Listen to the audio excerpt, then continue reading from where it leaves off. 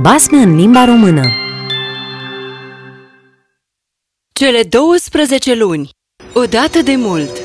Într-o pădure magică locuiau 12 frați. Cine sunt ei? Vom ajunge la asta îndată.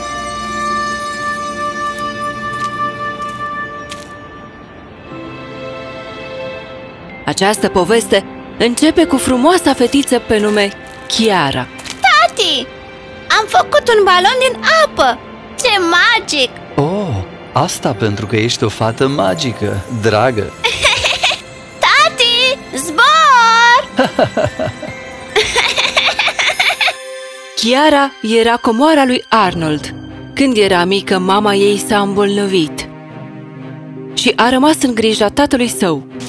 Chiar de atunci, Arnold era tată, prieten și tot. Arnold o iubea pe Chiara și era gata să facă orice pentru ea. Arnold era artist vocal. Asta înseamnă că le dădea glas păpușilor. Chiara își iubea tatăl și munca lui. Oh, pleacă de aici E tatăl meu! Arnold și Chiara erau foarte fericiți în mica lor lume, până într-o zi. Chiara se îmbolnăvi.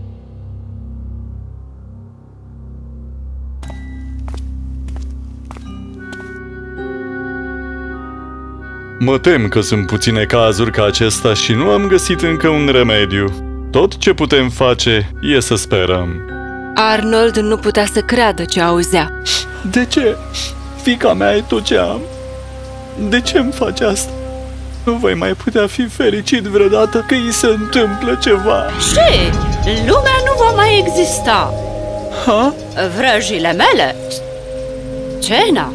Chiar crezi că va interesa pe cineva? Că tu nu mai zâmbești? Bine, în afară de fiica ta. Cine ești? Oh, sunt zuna tărâmului de nicăieri. Ce sunt eu, geniule? Vrăjitoare? Nu, nu v vrăjitoare, doar vrăjitoare. Nu ești foarte isteț, așa În fine, de ce ai spus că suferă fiica ta? um, Tin Cat Oh, e de durată.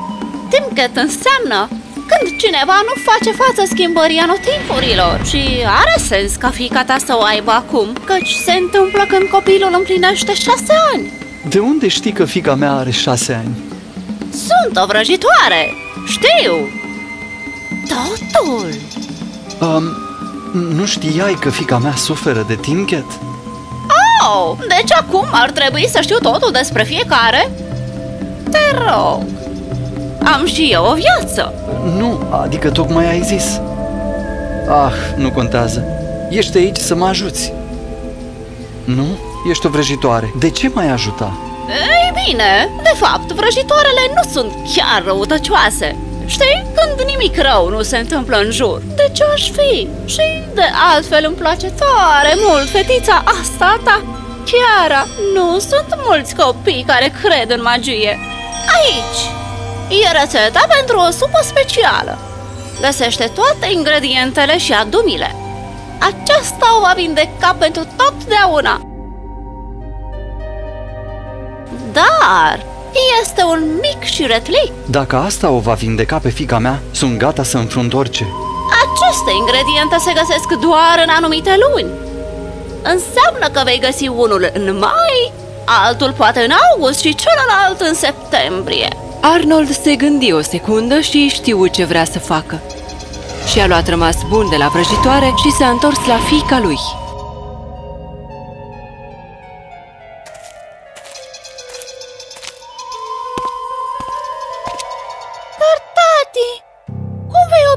Toate ingredientele?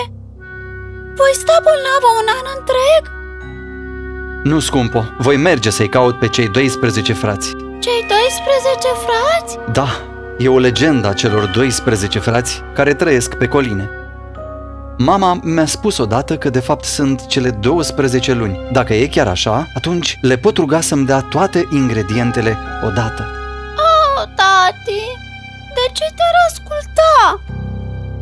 asculta? Tati, nu vreau să fii rănit Nu pot fi rănit niciodată cu un înger ca tine în viața mea. Vecina noastră, doamna Pillsbury, va avea grijă de tine cât sunt plecat. Mă întorc cât de repede pot, scumpo. Îmi promiți că vei fi bine?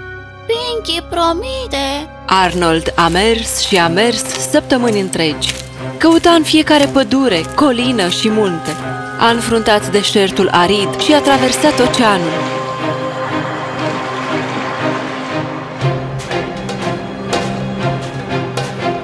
Și încă nici urmă de cei 12 frați. Dar apoi a văzut ceva. Stai! Copacul ăla are atât guava cât și kiwi. Cum este posibil? Oh, mi-aș dori să fie chiar aici. Asta e așa de magic. Stai! Nu e doar magie. Cei 12 frați trebuie să fie prin preajmă. Fructele de sezon se suprapun aici.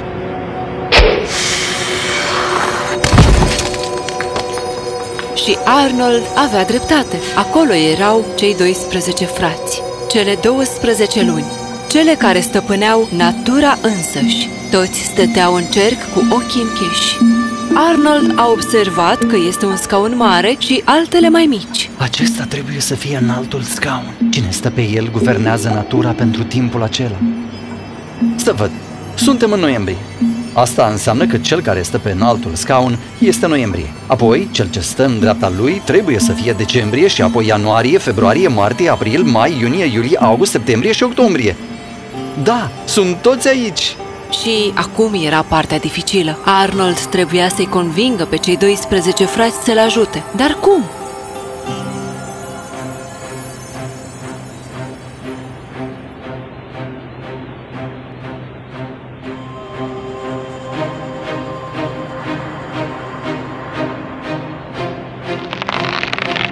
Oh, hainele mele! Haine! Vorbit primul a fost recele decembrie. Cine e acolo? Oh, sunt doar un neajutorat om. Un copil mi-a luat hainele în timp ce făceam baie. Aș putea muri înghețat. Nu e niciun lac aici. Unde făceai baie? Am, uh, mi-aș dori să am mai mult timp să discut, dar nu am. Acum voi muri de frigul ăsta uh, nemilos. Dacă s-ar încălzi uh, cumva, Singura cale de încălzire e ca mai să ia în altul scaun. dar e noiembrie. Sunt eu. E rândul meu. Oh, adio lume! Ah, bine. Mai poți lua în altul scaun. Mai, făcând tocmai și zăpada a început să se topească. Și, de îndată, răsări o floare, care apare numai în luna mai. Arnold își găsise primul ingredient. Oh, îți mulțumesc, May. Frații tăi să te binecuvânteze. Realizând că s-ar putea să nu fie publicul potrivit pentru umorul său, Arnold și-a luat rapid ingredientul și l-a pus în geantă. Îndată ce Arnold a plecat, lunile și-au schimbat locurile și noiembrie s-a întors pe înaltul lui scaun. Zăpada a revenit.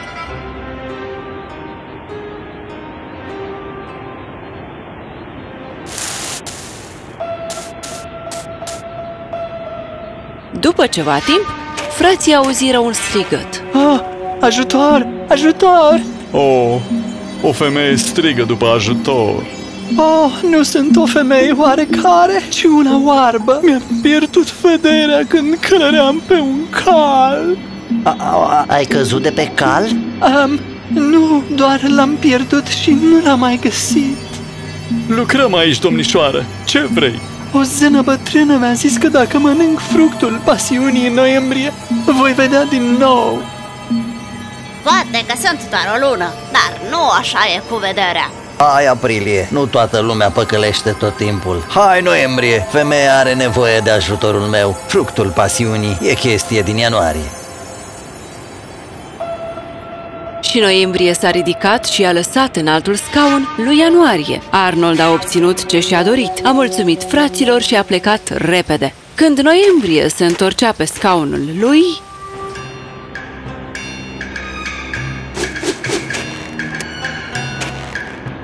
Și eu, care am salvat universul, de atâtea ori mă vindec numai cu o lavandă? Ah, Julieta, tot ce vrei este un ananas și eu un mocofan. Cum să iau un ananas în această lună? De unde vin astea? Și așa a continuat. Mereu, când o lună diferită lua în altul scaun, Arnold continua să-și strângă ingredientele. Aproape că le avea pe toate.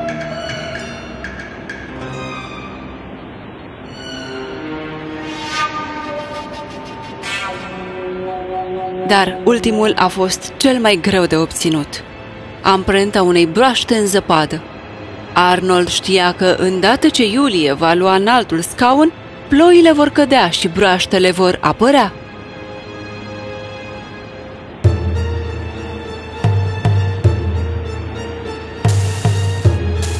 Dar trebuia să acționeze rapid, căci zăpada se topea curând și a pus ultima deghizare. Iată, gardieni, sunt aici să vorbesc cu vechiul meu prieten, Iulie. Oh, pentru iubirea de noiembrie! Dar îndată ce noiembrie și-a ridicat mâinile în aer, vântul suflă puternic, barba lui Arnold zbură. Stai! Nu ești stăpânul tunetului! Cine ești tu? Arată ca bărbatul înghețat care își pierduse hainele. Și femeia oarbă. Stai puțin! Nu le-a luat mult să înțeleagă ce se întâmplă. Cum îndrăznești? Ne-ai perturbat munca și ne-ai batjocorit. Vei fi pedepsit. Și înainte ca Arnold să poată explica, decembrie l-a înghețat. Arnold era acum un bloc de gheață.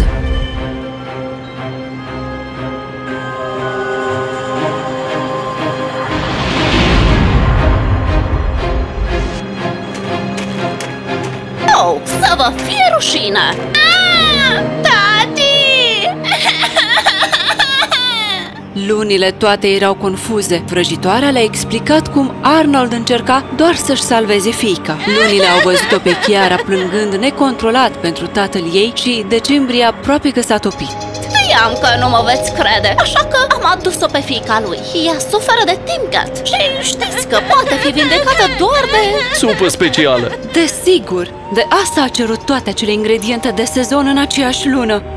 Oh, noiembrie, fă ceva, mă simt groaznic. Dar ce, dar, dar ce să fac? Nu-l pot topi. Stai, mai poate. Mai, ia în altul scaun. Mai s-a pus pe înaltul scaun și blocul de gheață s-a topit. Oh, Chiara! Iulie i-a dat ingredientul vrăjitoarei și mișcând din baghetă, făcu supa. Chiara a băut-o și s-a vindecat imediat. Tati, mă simt așa puternică! Pot îngheța pe toți frații căci te-au înghețat! Cei 12 frați i-au zâmbit micuței Chiara și s-au plecat să se scuze. Arnold le-a mulțumit fraților care s-au întors apoi la locurile lor. Chiara era sănătoasă și a continuat să aducă mai multă magie lumii. Arnold și comoara lui au trăit fericiți pentru totdeauna.